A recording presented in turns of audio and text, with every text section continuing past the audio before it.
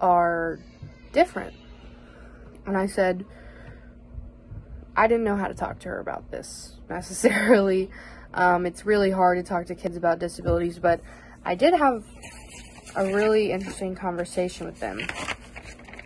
And some of the like discussion questions that I just wanted to share with the classes. Um, if you have younger siblings or if you know someone with a disability, maybe talk to them about it and talk to them about uh, how it affects their life. For my sister, um, she has hers is not a physical disability, but it still hinders her in some way. And I just wonder um, how important someone's physical or non physical disability is to their daily life. I'm not very.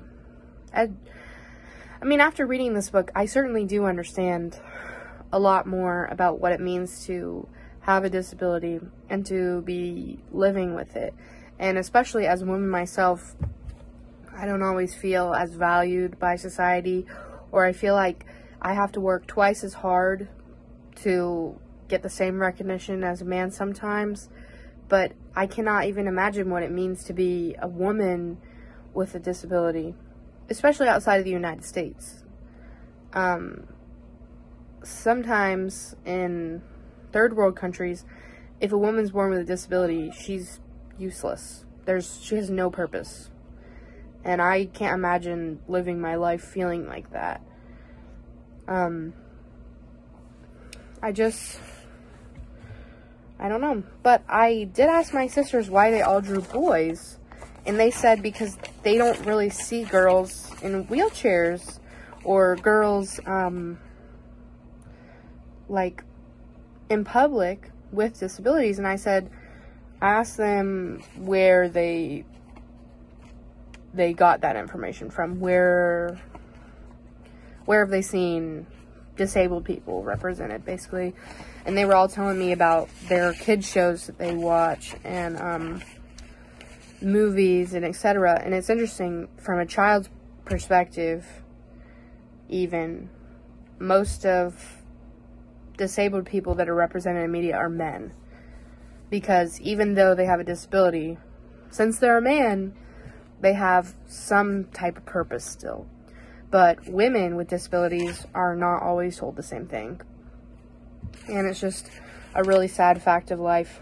And I hope that we can change it. And I think that books like this, the books like the one we read, really help change people's perspective um, especially with the personal stories. You're going to hear Maylee talk at the end of this, and I think her message and her discussion questions are really powerful.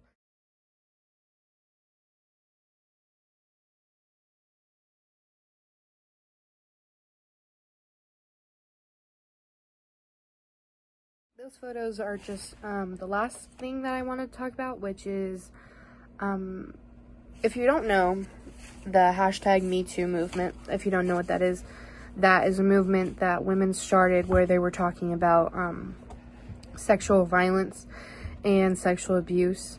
And um, after some women started coming out about their sexual abuse they experienced, other women started coming out, and um, it was really helping women to uh, talk about their own experiences.